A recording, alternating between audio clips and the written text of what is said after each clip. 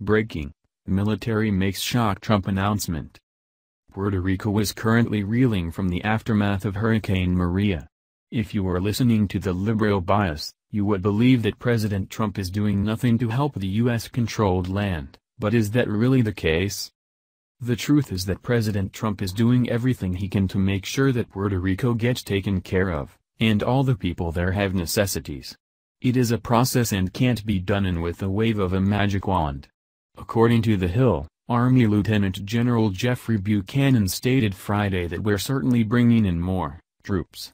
He went on to say, for example, on the military side, we're bringing in both Air Force, Navy and Army medical capabilities in addition to aircraft, more helicopters. But, it's not enough, and we're bringing more in.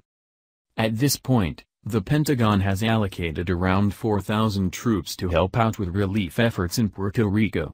Rescuing those displaced or injured individuals in the U.S. territory is important. These people are, after all, Americans who deserve the same help that everyone else here gets.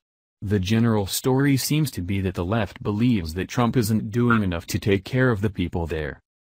Puerto Rican Mayor, Carmen Yulín Cruz, has been one of the harshest critics of the president.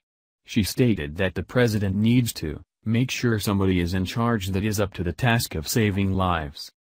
Instead of being grateful for the fact that there are troops there working hard and risking their lives to get Puerto Rico back to a functional state again, Cruz opted to complain. It seems that she's oblivious as to why supplies are scarce in her area. The troops are working with the Puerto Rican workers at ports to iron out the logistics of the rescue efforts, but these are large, coordinated efforts that take a lot of time, no matter the urgency.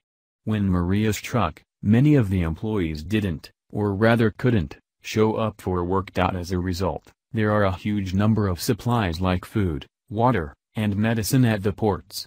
It needs to be opened, sorted, and distributed, which can take some time if it were somehow possible to wave a hand and make everything right in Puerto Rico, the president would. But until then, the reality of the situation needs to be addressed and resolved accordingly.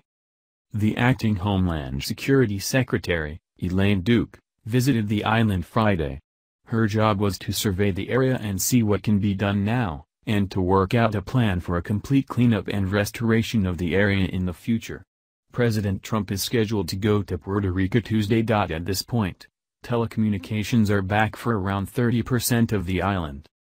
About half of all grocery stores, supermarkets have opened their doors, and about 60% of gas stations are open again. The rebuilding process is moving along, the nation just needs to be patient and address their issues one at a time at a time.